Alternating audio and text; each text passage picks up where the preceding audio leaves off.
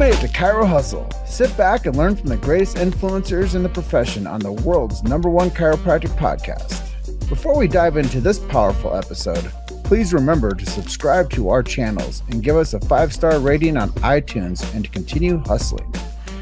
This episode is sponsored by Transact Card, Align Life, Neuro Infinity, Imaging Services, Chiro Health USA, Chiro Moguls, Pure Chiro Notes, Titronics, Sherman College of Chiropractic, New Patients in a Box, Life Chiropractic College West, Pro Hockey Chiros, Pro Baseball Chiros, and the IFCO.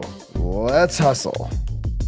Hey guys, welcome to episode 510 of the Chiro Hustle podcast. I'm your producer, Luke Millette, and here's your host, James Chester. So today we had the opportunity of interviewing Dr. Melinda Hallam. And if you want to hear how a chiropractor passes on legacy, stay tuned.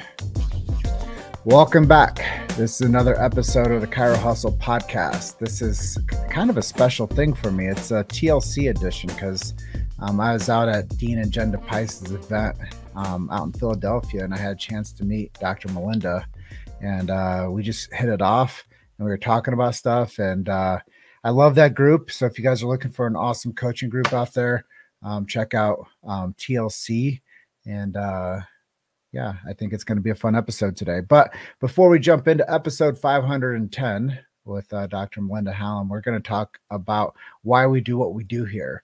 Um, first and foremost, I think that this is probably one of the most essential things that I'll ever mention besides chiropractic is freedom of speech. Um, those things are really important, and that is also paired with um, medical freedom and family health freedom. Those things, to me, um, the past couple years, we've gotten a big uh, taste of what that feels like uh, when that doesn't stay um, free, and when we don't feel that that that's uh, you know our reality. So Chiro Hustle will always stand for those things. Um, we also protect BJ Palmer's Sacred Trust.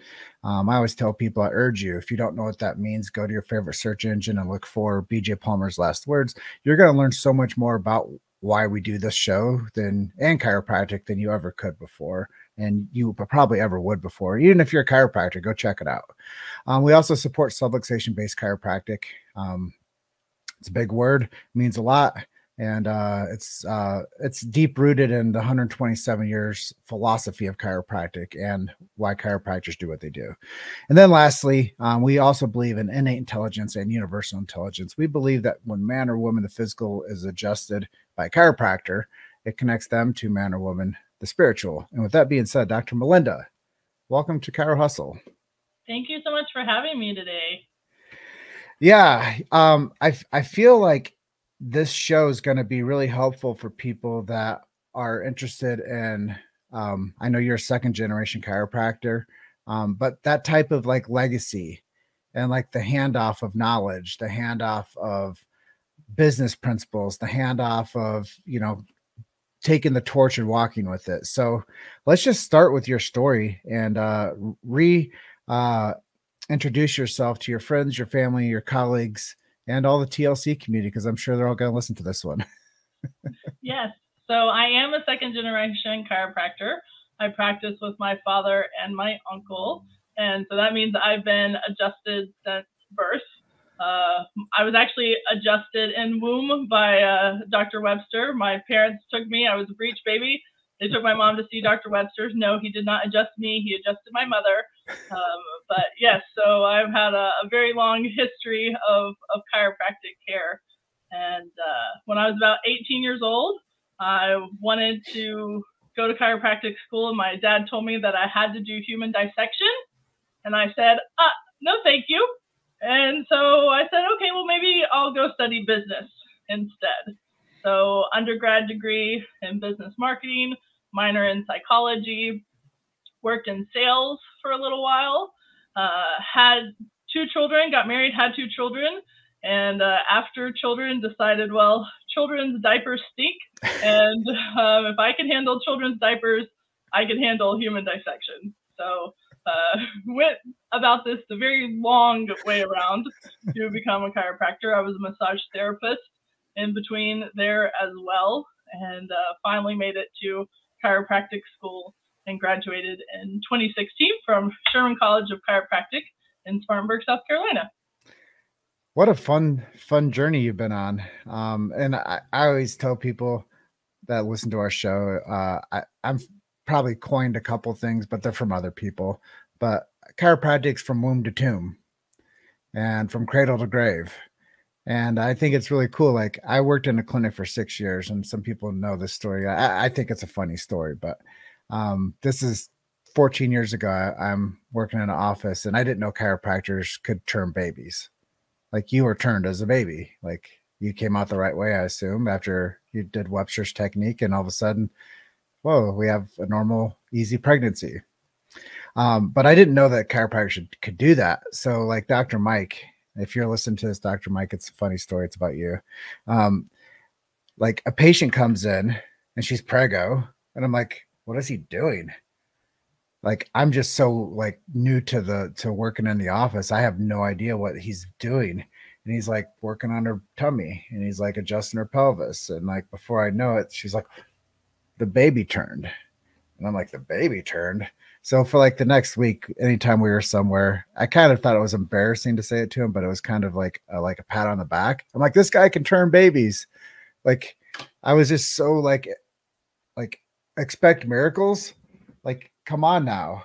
Like I didn't know that was a thing. Like, why don't more people know that chiropractors can do Webster's technique? Well, it's the innate intelligence of the body. We don't turn anything uh, we balance the pelvis, and from there, the baby knows what it needs to do. Yeah. Wow. Like that, that part of your story, like it, it, stands out to me because I've seen that miracle happen and I, I, know that it's a real thing. And if every mom out there actually knew that chiropractors could like help with their pregnancies, they wouldn't be so stubborn limping around. Like I, I've done so many screenings. I've gone out and met people and they're like, oh, I'm fine. I'm like, lady, I just know because I've been educated that like if you go see a chiropractor during your last trimester of being pregnant, you have a 40% quicker delivery time.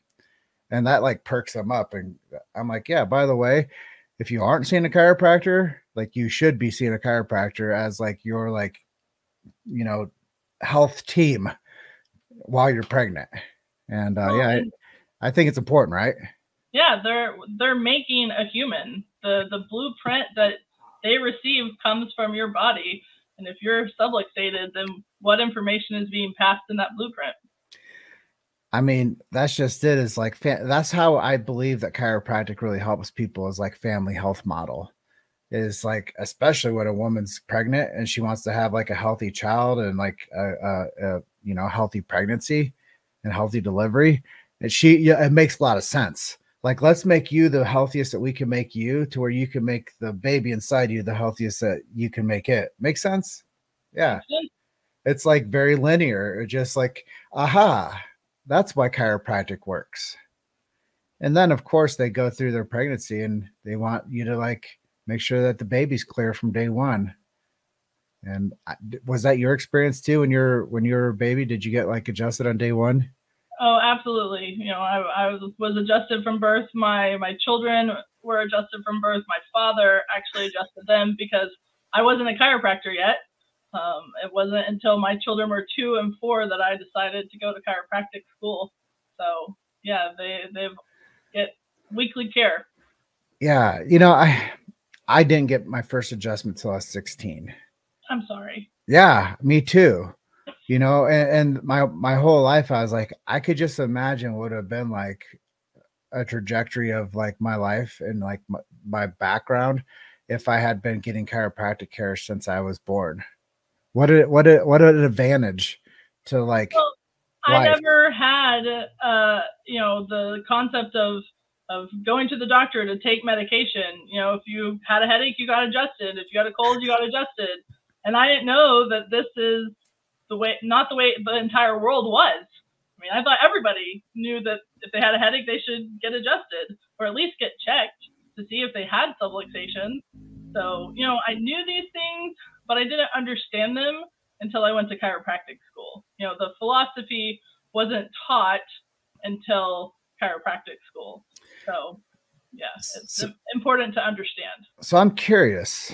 Um, Sherman College of Chiropractic is one of our sponsors Yeah. And I help a lot of people find their way to uh, a quality chiropractic school that teaches science, philosophy, and art. Um, what what was it like being at Sherman?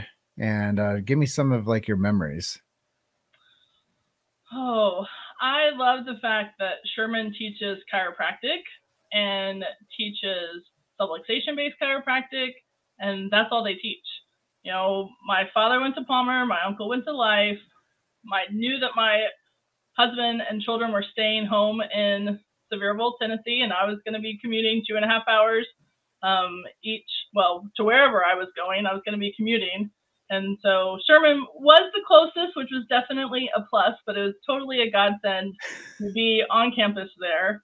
Um, and so to have the philosophy taught from the beginning, from day one, hands on classes from day one, starting the process of learning, you know, it was an invaluable experience. The people that I met, you know, who were in my class or in my quarter, day one, stayed with me throughout. And so yeah, I, I love the school and uh, I'm excited for our new president and for Lyceum coming up. It's our 50th anniversary. So if you've never been down to Sherman, I'm sure this year is going to be a fantastic year to go. So we're excited. Yeah. I've been out to the campus before, um, and I, I, think that there's been a lot of growth since then. And uh, Dr. Jack Borla is a dear close friend of mine, so I'm going to go out there for his presidential investiture and uh, be a part of that weekend with uh, all the Shermies, as they call them. Um, we'll see you there. Yeah, so I think it's going to be a, a, a, great time the first weekend May. So if you guys are anybody listening that is wanting to go to uh, the center of the chiropractic universe, go out to Spartanburg, South Carolina, and uh, go out there and meet Dr. Jack Borla and hey, you can see Dr. Melinda and myself out there too. So, um, but yeah, I, I am excited for the future of Sherman. Um, I do think that um, they have set themselves apart from a lot of the um, medical modeled colleges, and that's something I really support. Now, I also think that there's room for all of us at the table, but we should probably lean more towards the Sherman model for educating the chiropractic student because they are, as Edison said, the doctors of the future. Well, they're also the doctors of the present. So we need to teach them science, philosophy, and art of chiropractic. And uh, I think that that's something that Sherman does a fantastic job of. So, yeah, pretty cool. Um, so now let's transition a little bit. Um, you're like the perfect associate. Your dad's a chiropractor, your uncle's chiropractor, your family's had this practice for 45 years. Um, what makes the I think the best question is what makes the, the associate model work for you guys? I definitely think that when I was graduating chiropractic school, I thought I knew everything and wanted to jump in and change everything in the practice. And, um, you know, anytime that you get involved with something, you learn. And school is great and I love Sherman and the amount that you can prepare for in chiropractic school versus what you need every single day as a doctor of chiropractic. Uh, there's just so much that it's it's not possible for the school to teach you everything. So I think that being an associate and learning from 40 at the time like 38 years of experience why would I not take that opportunity to listen and learn? Looking back now, at the time I wanted to change it and fix it, but looking back, how crazy is it not to just glean all the information uh, and experience that you can possibly learn from someone else who's obviously run a successful practice. So this this takes me to story time.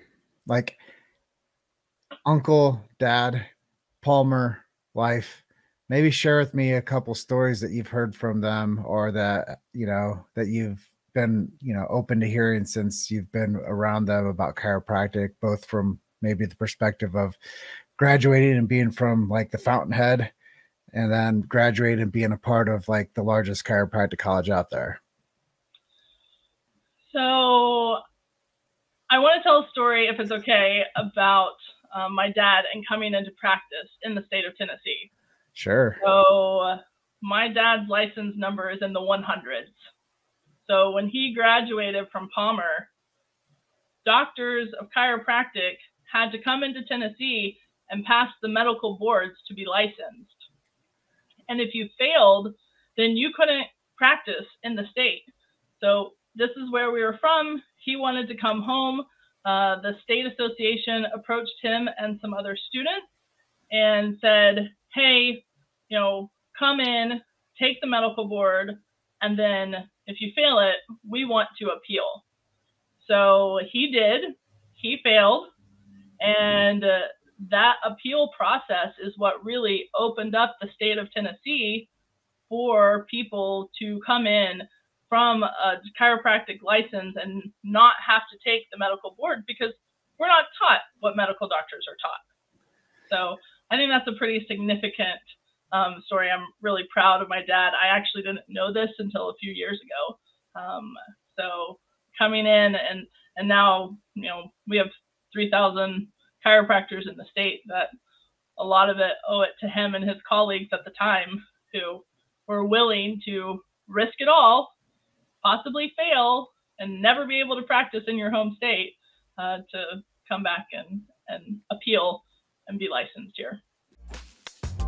You've made it to Chiro Hustle. Sit back and learn from the greatest influencers in the profession on the world's number one chiropractic podcast. This episode is sponsored by Transact Card, Align Life, Neuro Infinity, Imaging Services, Chiro Health USA, Chiro Moguls, Pure Chiro Notes, Titronics, Sherman College of Chiropractic, New Patients in a Box, Life Chiropractic College West, Pro Hockey Chiros, Pro Baseball Chiros, and the IFCO. Let's hustle.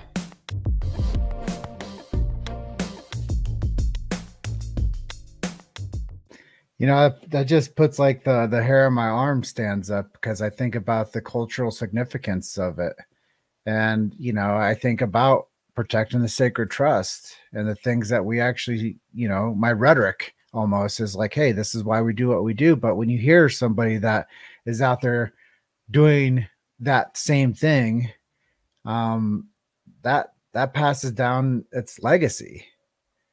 It is. I mean, when we talk about legacy, we always say we we stand on the shoulders of those that have come before us. Well, I every day get to do that in practice in my father's practice. Um, that we are transitioning to be my practice.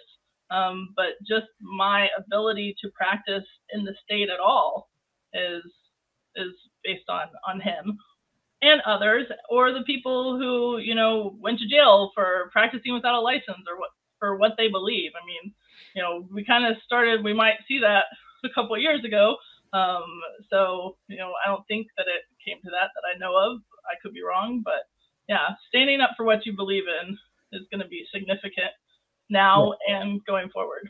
Yeah, I think that chiropractic has had a huge uh, aversion um, from judgment. Like chiropractic has had, always had to be a bit different, you know. Like I was at Easter dinner and, and uh, my friend's parents were talking about um, that they didn't always trust chiropractic, and they're in their you know late 60s and i was like yeah i get it you know the um ama did a phenomenal job of you know eliminating and lying about chiropractic to where the general people thought that was a bad thing to do i was like we still have a lot of you know shame and guilt based on the profession by you know propaganda. We have a lot of repair to still do to reputation management and you know course correct back to chiropractic is help helps people. And they told me that. They're like yeah you know um, we love our chiropractor. He gives us care plans and we stick to it. And i was like oh awesome. That's great you know?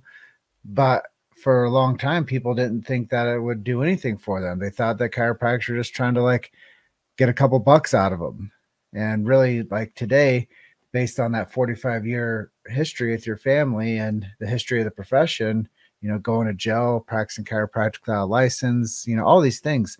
Um, chiropractors do stand on the shoulders of giants and that there is a huge legacy that chiropractic has to like remember and they have to we have to talk about those things. Otherwise the next generation they're not going to adjust anymore.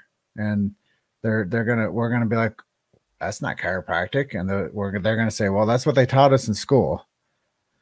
That's scary. Um, the adjustment is what makes us separate and unique and the term subluxation I always like to say, well, if you can't say subluxation, how do you know you don't have it? because it's a big word. Um, but we should use that. This is our field, our house. We should use the term subluxation. We should not water down our communication of chiropractic for anyone.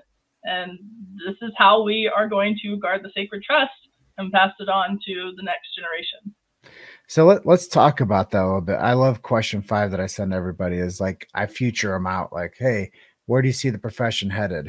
And I think that that's like almost like dropping a bomb on this episode is like, where do you see chiropractic going right now? I mean, being in a Sherman grad, being apprenticed, an associateship with the family, like that's a pretty cool place to be. But where do you see it everywhere else?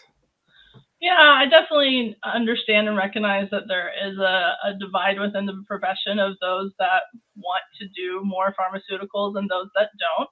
And I am definitely on the side that don't because there is a, a time and place for that someplace else, but not in the chiropractic profession. But I will still love my brothers and sisters who choose to do differently than I.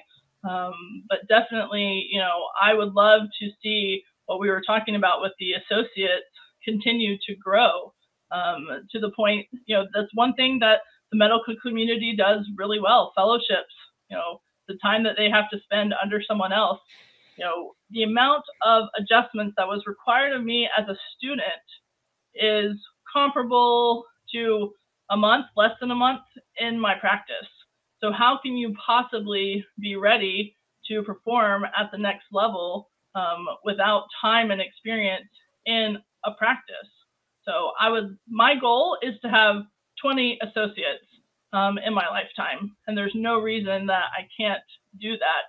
Not for them to grow my practice, but for me to mentor them to then turn them to be able to go out and start their own practice or like we said before to purchase a practice of someone who's already been established in the community so i would love to see our associate grow but it has to be done right because there are so many stories of people who had a terrible experience in an associateship, uh, and and that's not okay either. So yeah, chiropractic business is one of those things that's always evolving. And I think we are at a place where I was saying off camera, like there's a lot of baby boomers that are going to be retiring soon and there's a lot of practice like we know the stats. We know that chiropractors have a fail rate of 50% after five years of practice. It's the same as small businesses. Um, but i think that there's a, a, a bigger problem when it comes to like a medical provider and a healthcare professional. Um, i always say it's like having a soldier out on the on the the turf and you know we lost one of our soldiers like what does it do to that family that believed in that chiropractor? What does it do to the void of that community that chiropractor is supposed to go out and serve in? Like we need to make sure that everybody's successful. So if we did create some type of a legacy handoff model like a residency in the medical world um, i think it'd be really healthy for the future of chiropractic. I think it'd be really uh, responsible for not only the next generation but for the pass on of legacy like what you're getting a chance to experience and that's something that TLC is working on as a community. Um, so definitely something that um, I think is important. And so if somebody is interested in, you know, having associates in their office, then obviously I would highly encourage them to reach out to TLC. TLC was a godsend in our transition as well because if you've ever tried to work with your family, there could be a little bit of hiccups along the way um, and having a community, a coaching group that can be objective, look outside and say, you know, it's going to be okay. keep you accountable to what you are working on. Uh, I think that every chiropractor, you live in the chiropractic bubble when you're a student, and then you get out of the bubble, and that support and community isn't necessarily there. And so I think everyone should be involved with a community of chiropractors. Mine just happens to be TLC. Yeah, and that's just tip too. You know, um, I'm pretty social and social, and I'm always posting engagement stuff, and I'm also always trying to like draw out you know good resources for chiropractors to have like access to good knowledge and the best of the best. Like I feel like that that's something we've done really well with being Chiro Hustle is we've created a community too. Yeah. And you know, we get a, the opportunity of networking with great teams like TLC and and meeting the the people that are coached by that group. And I do think that we have created a really great ecosystem between the media end of what we do and the management and coaching end of what the TLC team does. So I think, yeah, I mean, the more that we work together and realize that we're stronger together than by ourselves, um, I think we're gonna have a, have a lot more fun doing this this stuff with chiropractic, whether it's practicing chiropractic or creating media for chiropractic. Um, we couldn't survive without what you do either. I'm just so thankful to to be here and uh, to acknowledge what you do for our profession because you know you're filling a void that has not had a platform, and so thank you. Yeah, I, I, thank you. You know, I, I just I, I just tell people I, I just weave together the tapestry of chiropractic and help create something that has like legacy to it. And we're documenting the profession with these stories. So in 10 years from now, we'll look back and we'll see some people that were, you know, really important in this profession that we chronicled their their conversation about chiropractic, something that mattered to them more than anything. You know, and I think that that's the the beautiful thing about this is chiropractors really care about what they do. They care about the profession. They care about the adjustment, the science, the philosophy, the art. Like they care about the colleges that they went to. They care about the next generation. Like it's a very much care, give, love, serve profession when it comes to caring. And I, uh, that's something I think that everybody that gets a chance to like see what we do, we they know that chiropractors care about the future they care about their families and they care about the people that are like knee to knee with them and i think it's a beautiful thing that's why i call it the beautiful profession um, but let's transition back to a little bit more about you. Um, I know you've practiced with your dad, but do you have any other heroes um, that that stand out to you that helped you become who you are today as a chiropractor?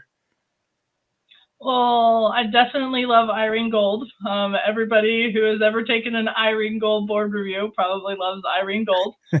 um, and you know, again, to to have so many years in in practice and so many or you know in the the chiropractic profession involvement uh, i definitely think that that's definitely a hero. Uh, i love dr dean and dr jen with tlc and what they are doing to not be the center of it and continuing to practice um, and, and pass that on so that way tlc exists without them.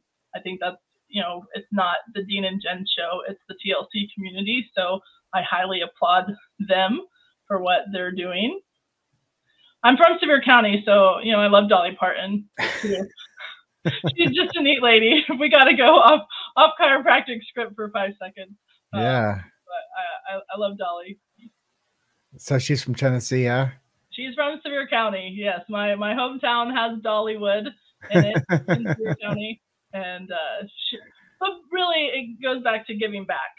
And I think that's you know what we as chiropractors are called to do is to give back to our communities. So I have to acknowledge her for that. No, I think it's cool. Like you come from Dollyland, I come from Palmerland. uh, Davenport, Iowa. You know, like I, I always, when I was a kid growing up there, I was always like, oh gosh, I'm from Davenport. You know, now I look back on, I talk to so many chiropractors, like, you're from Davenport, Iowa? Whoa. And I'm like, bro, it's it's all right. We'll give you a thumbs up to that one. But you know, like I do think that it does have some significance where, you know, chiropractic's from. Oh, and absolutely. I think that chiropractors think it's like Disneyland or something, though. well, I have been to Davenport. It is fun to see where my dad went to school and where it all began, and uh, tour the Palmer House. And if I could, you know, go back in time, I'd, I'd ask BJ to write down the code to a safe because I'm really curious what's inside. Um, it's not been opened, and so yeah, but definitely the the community and and where you're from does make a difference in how you're raised. For sure. So so let's close out today. But I, I am really curious. Like I, I love closing out with uh, the miracle story. You've been in practice a handful of years now. Um, I'm sure you've seen something or a couple things or maybe daily. But what's some what's some what's a case that really stands out to you that you've had a chance to see and see some some huge changes in some people's lives? Oh, I always love the the women who are having difficulty conceiving, and uh, then under a few months of chiropractic care, they they come back in and tell me I'm pregnant. So I always I love those because their joy is just palpable. Um, I love the the baby stories. You know, one where the baby hadn't gone to the bathroom for a day or two, and baby gets adjusted and within 15 minutes is filling the diaper. You know, in chiropractic, we can't say what we prevented from happening um, because we don't know what would have happened had someone not been adjusted. Um, but we do know that we change lives. Yeah, it's like BJ's adjustment like quote that talks about releasing tiny rivulets over the nervous system that animate the organs, tissues, and cell of the body to um, do what it's supposed to do, you know. And I think that that's the coolest thing, especially with like animal chiropractic and like baby chiropractic, is neither one of those groups are talking to you. It's all physiology. You get a chance to see the physiology of an animal after they get adjusted, and then you get a chance to see like the behavior of a baby or a toddler when they get adjusted. And you know, you see a kid that's head's turned like this, and they're not moving and they're not latching, they get adjusted, and get the little atlas moving, and it comes back to center, and then they're nursing again, and then they're not crying all the time, and it changes. Mommy and daddy get to sleep. It changes the dynamics of the whole darn family. So, I think that that's a, it's a beautiful thing, and I think that the women are the decision makers for the health care of their family. So if we can get more families involved with chiropractic and take care of more women, um, chiropractic has a, a, long future ahead of it. And I mean, uh, if you can take your kids not being home from school sick, and you can take those days and go take a family vacation instead of having to miss work financially because your kid's sick, um, or just your you yourself as a an adult, you know, what impact does that have on community connection, family, you know, lifelong? Yeah, it's it's it's uh it's a legacy thing, and I think that that's how we opened up, and that's how we'll close today. And I just uh, really appreciate you being episode 510 of the Chiro Hustle podcast. I can't wait for 5,010. well, I, I love that. Maybe, maybe that's my 20 year forecast. so, okay, if you uh, make it to 5,010, I'm coming back. awesome. Well, Dr. Melinda, thanks for being our guest today. And I just want to close out by telling everyone you're just one story away. Keep hustling. I'll see you guys in the next episode, and I'll talk to you soon, Dr. Melinda. Yep. All right. Bye for now. Thanks for listening to Chiro Hustle. Don't forget to subscribe and check back next week to continue hustling.